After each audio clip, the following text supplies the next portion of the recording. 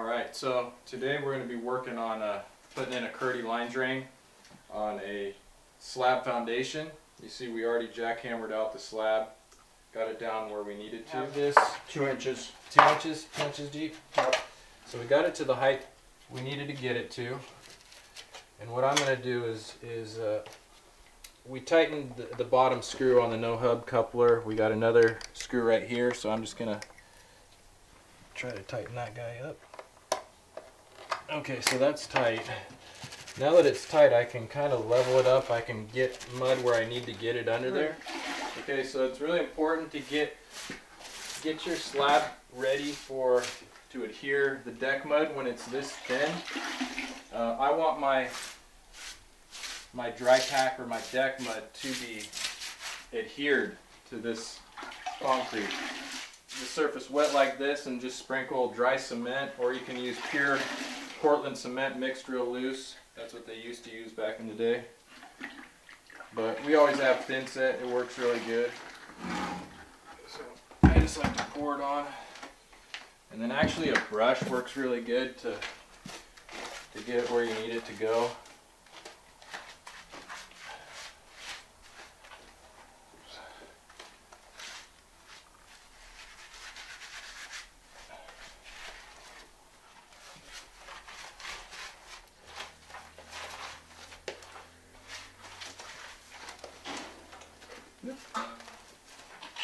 I'm gonna get my slurry all the way up on there so I get a really good bond everywhere.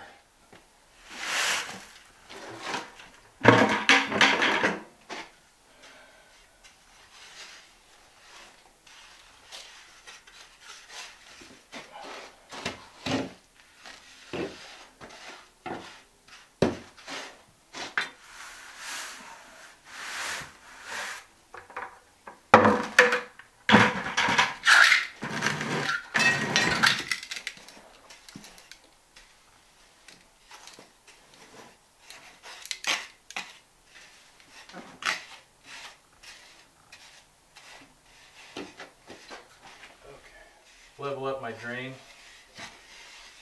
I do that by sticking the right amount of deck mud under there.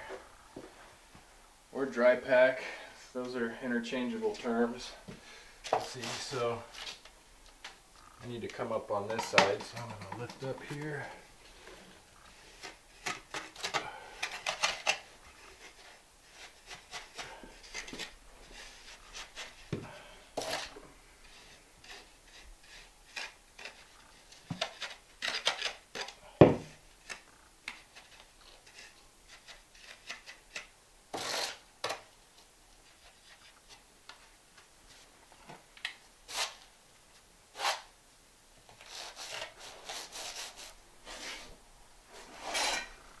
That's good right there. Just pack the rest of it all under there.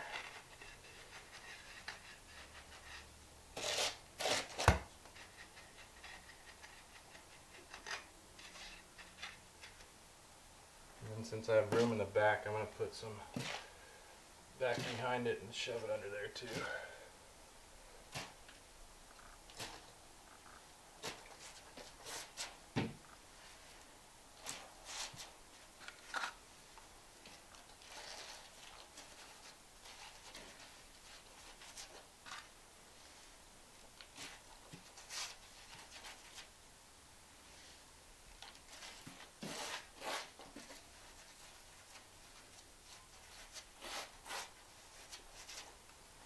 It's not important to have the whole base of the drain supported. Here, if you were basically to stick this right on a flat subfloor, you would thin set here and then you would thin set the drain to the top to keep it in place.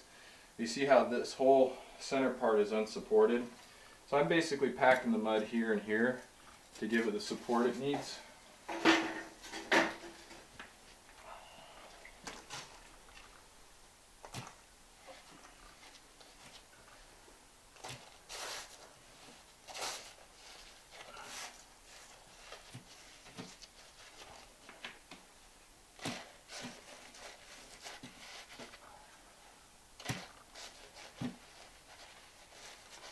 Just packing it in there real good.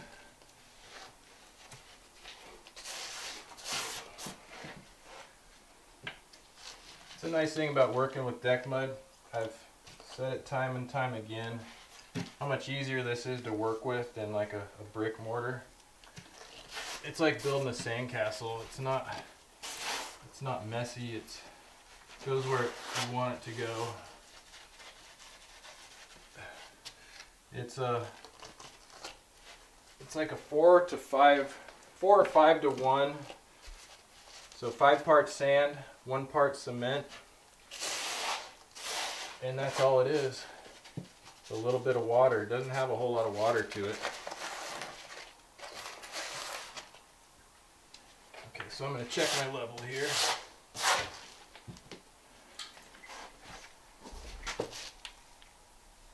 Yeah, so check. Go ahead and get a shot of that, Ronnie. So you want to get your you want to get your drain level nice and level. Okay. So after I have my level there, what I do is I want to get a nice level screed across the front of it where I start. Actually, I don't really need to do that. I'm going to get that when I put... Okay, why don't you go get me a couple more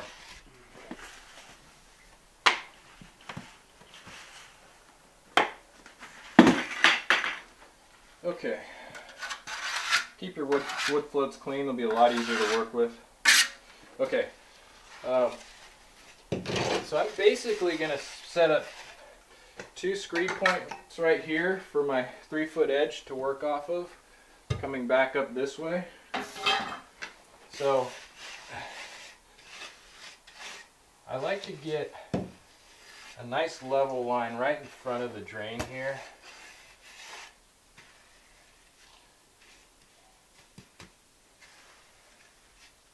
This was a pretty big hole, so I'm going to make sure I tamp this down pretty good.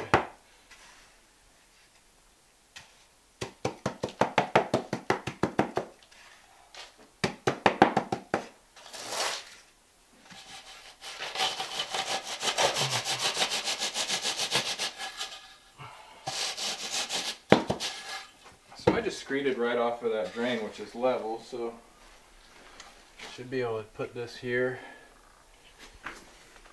It's a little high on that side. Eh, barely. Tamp down there. There we go. So we're good. So if I'm straight across there, now I'll take just this point. So I got the concrete out here, which is my finish point.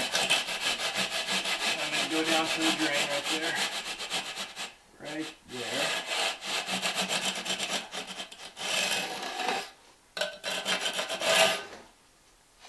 There's one screed point.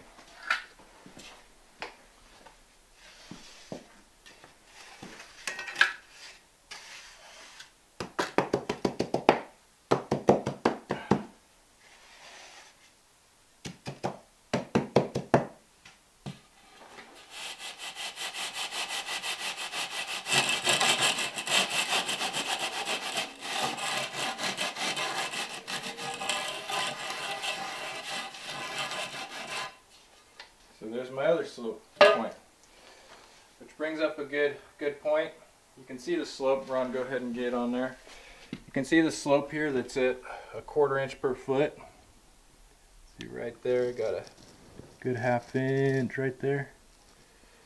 Quarter inch per foot, and which means you got to get this drain the right height. So if this is three feet a fall, I'm gonna have three quarters from this point to this point.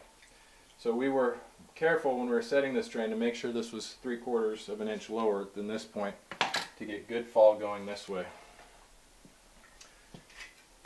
So now that I have my two screed points, I can just take my edge and I can actually even just work it this way.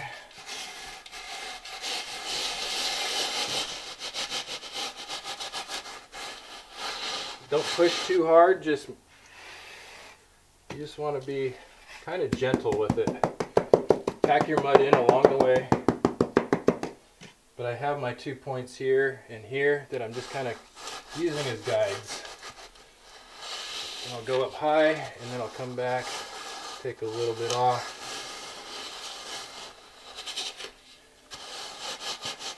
And if you don't have one of these box edges, you can just use a level or any other straight edge that you got.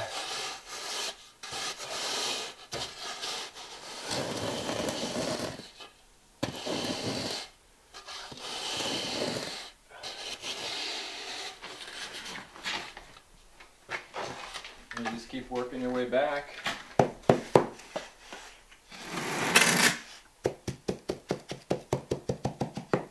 Tamp down as you go. Any little low spots, fill it in. Again, I got a low spot here, so I'll just fill it in.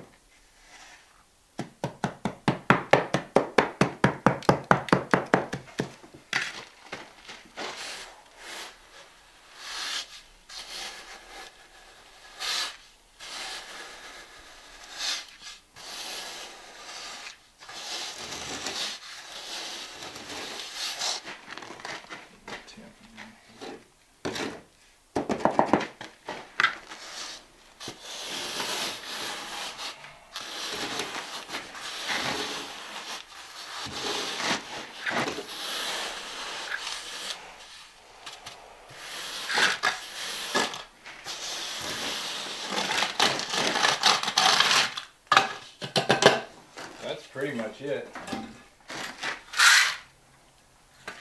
This is a tiny little trowel. They don't sell the 5 inch wide at Home Depot anymore, at least in my area. I like a 5 inch wide trowel, so I picked this guy up. Because I think Ronnie, oh yeah, Ronnie stole my 5 inch here.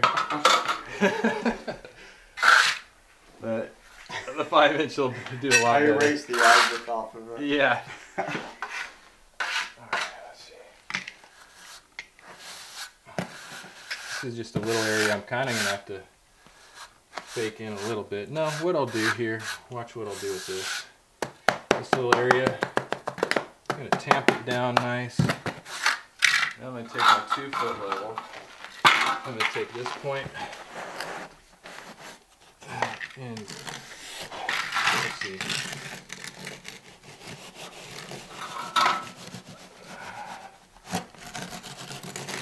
It's nice when you have an edge to screed off like that. That's really nice. When you do that.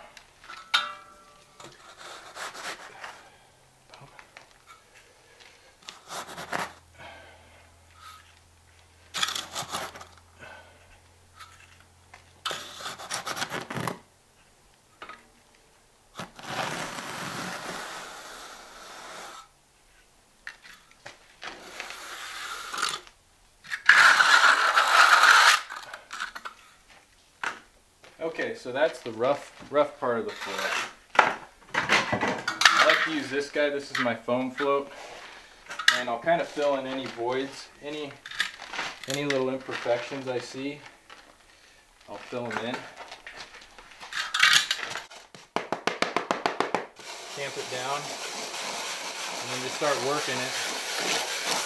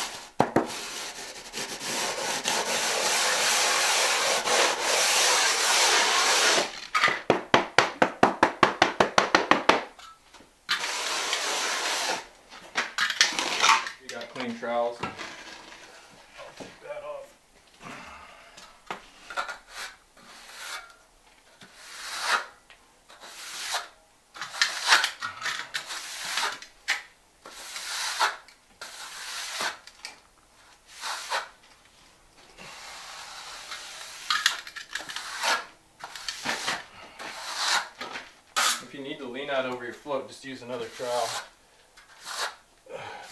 Don't want to break your back. What this does, this just gives it a really nice finish.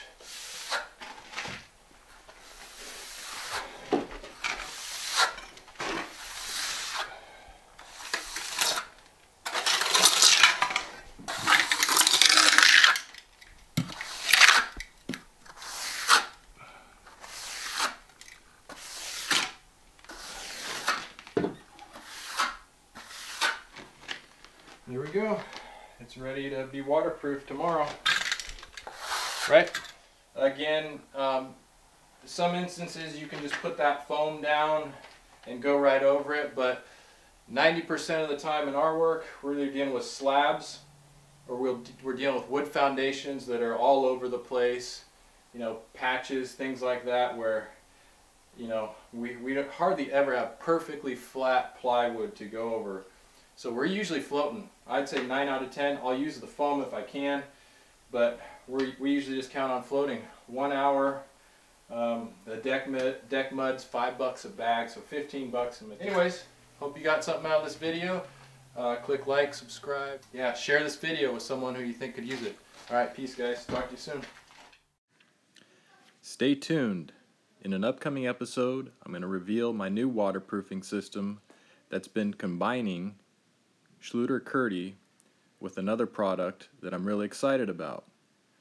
This way, I know for sure that any seams are completely waterproofed and not solely relying on an unmodified thinset for waterproofing. Again, click like and subscribe and share this video with someone who you think could use it. Keep up the great work, guys. See you on the next one.